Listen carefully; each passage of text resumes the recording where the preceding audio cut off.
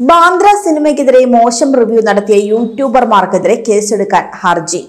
അശ്വിൻ കോക് Shihab Unni vlogs Shaz Muhammad Arjun Shijas talks ഷാ- സായ് കൃഷ്ണ എന്നീ ഏഴ് യൂട്യൂബർമാർക്കെതിരെ കേസെടുക്കണമെന്നാണ് ഹർജി നൽകിയിരിക്കുന്നത്.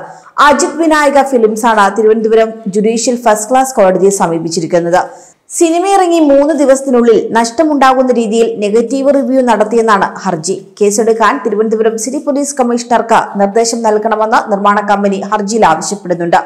അതേസമയം ദീപാവലി റിലീസായ തിയേറ്ററുകളിൽ നിരവധി ചിത്രങ്ങളായിരുന്നു എത്തിയത്. അതിൽ തന്നെ ഏറ്റവും പ്രതീക്ഷ ദിലീപിന്റെ ബാന്ദ്രയ്ക്കായിരുന്നു.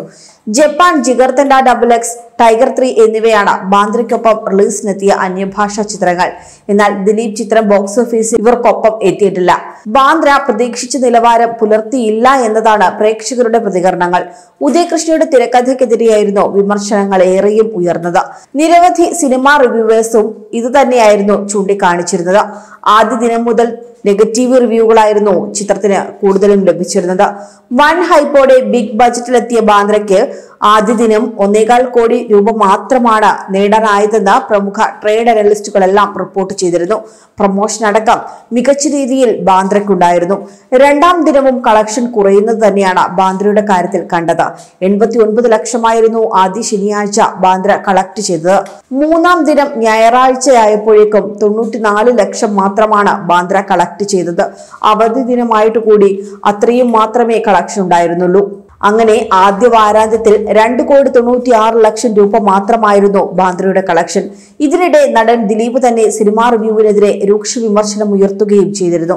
ഇമേജ് നശിപ്പിക്കാനുള്ള ശ്രമമാണ് നടക്കുന്നതെന്നും ഒരാളുടെ എത്ര വർഷത്തെ കഠിനാധ്വാനമാണതെന്നും അതിൽ ചിലർ മാത്രമാണ് സർവൈവ് ചെയ്യുന്നതെന്നും ദിലീപ് പറഞ്ഞു. ഇങ്ങനെ കഷ്ടപ്പാടൊക്കെ സഹിച്ച് ഒരു സിനിമ ഒരാൾ കൊണ്ടുവരുമ്പോൾ ഇത്ര വൃത്തികെട്ട സിനിമ എന്നൊക്കെ പറഞ്ഞ് റിവ്യൂവേഴ്സ് തുടങ്ങുകയാണ്. പറയുന്നവർ ചെലവാക്കുന്നത് വെറും നൂറ് രൂപയാണ്. നിർമ്മാതാവ് ചെലവാക്കുന്നത് കോടിക്കണക്കിന് രൂപയും. അങ്ങനെയുള്ളവരുടെ നൂറ് രൂപ വേണ്ട എന്നും ദിലീപ് പറഞ്ഞിരുന്നു.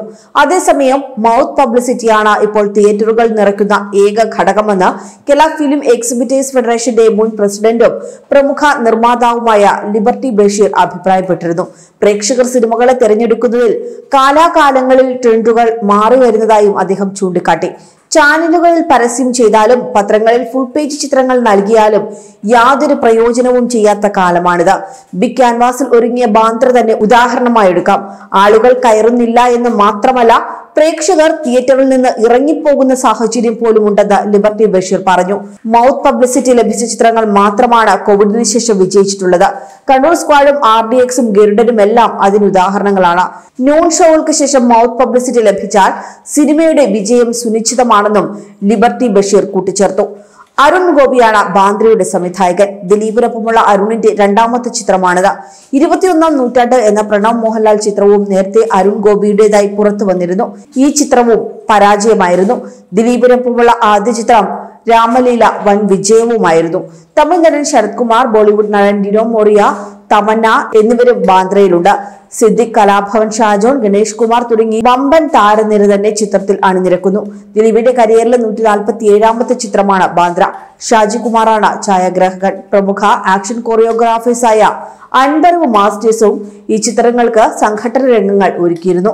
അതേസമയം ചിത്രത്തിനെതിരെ നിയമ നടപടിക്ക് ഒരുങ്ങിയിരിക്കുകയാണ് അന്തരിച്ച മുൻ ബോളിവുഡ് നടിയായ ദിവ്യ ഭാരതിയുടെ ഭർത്താവ്. തമന്ന അവതരിപ്പിച്ച താരാ ജാനകി എന്ന കഥാപാത്രം ദിവ്യ ഭാരതിയുടെ ജീവിതത്തിൽ നിന്ന് പ്രചോദനം ഉൾക്കൊണ്ടതാണെന്നാണ് കുടുംബം ആരോപിക്കുന്നത്. കൂടുതൽ വാർത്തകൾക്കായി ബി ഫോർ ബ്ലേസ് ഫോളോ ചെയ്യൂ സബ്സ്ക്രൈബ് ചെയ്യൂ.